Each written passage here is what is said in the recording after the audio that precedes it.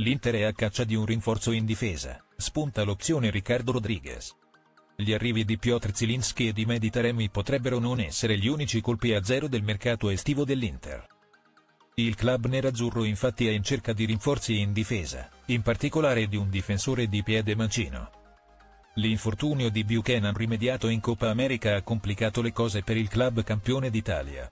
L'Inter sta guardando con attenzione a Valencia, con i profili di Moschera e Gasiorowski che sono molto apprezzati dal popolo nerazzurro. Il co del canadese porta Inzaghi ad avere un giocatore in meno a disposizione sulle corsie, in particolare a sinistra, dove Buchanan è stato schierato. A quel punto il piano sarebbe acquistare un centrale a basso costo per portare Carlos Augusto e Di Marco sulla corsia mancina, con il sempre redivivo Darmian come jolly sia in difesa che sugli esterni. Inter, Rodriguez per la difesa di Inzaghi. Oltre ai nomi valenciani e a Mario Hermoso, libero dopo l'esperienza con l'Atletico Madrid, da tempo nei radar nerazzurri, ma che piace anche al Napoli, ecco spuntare anche Riccardo Rodriguez. Il difensore svizzero è ora svincolato dopo l'avventura con il Torino e potrebbe tornare a Milano dove ha già indossato la maglia del Milan. Come riferisce Sky Sport l'Inter starebbe pensando anche al giocatore svizzero per la difesa.